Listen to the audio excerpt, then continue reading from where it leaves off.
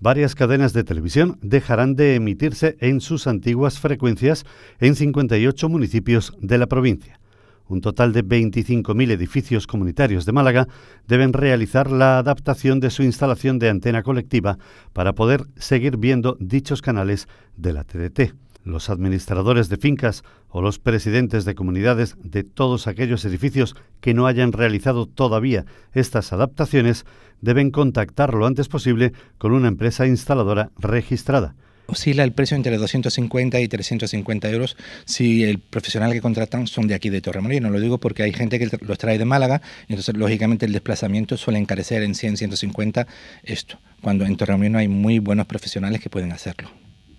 El encendido de las nuevas frecuencias de la TDT en esta provincia se produjo el pasado 18 de septiembre de 2019 en 58 provincias, incluida la capital, por lo que hasta el 13 de febrero existe una emisión simultánea de ambas frecuencias.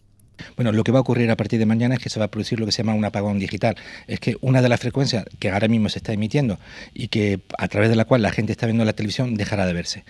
¿Qué es lo que hay que hacer a partir de mañana? Pues en principio resintonizar la televisión, porque muy probablemente su administrador de fincas habrá avisado al técnico para que adapte la antena al nuevo dividendo digital.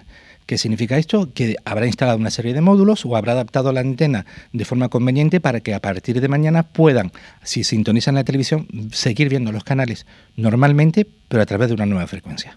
En el momento en el que lleven a cabo todos los ajustes de antena pertinentes, se volverán a visualizar todos los canales. Este ajuste de frecuencias de la TDT se produce en consecuencia del llamado segundo dividendo digital, por el que se debe liberar antes del 30 de junio de 2020, por mandato europeo, la banda de 700 MHz del espectro radioeléctrico para permitir el despliegue de futuras redes de telecomunicaciones 5G.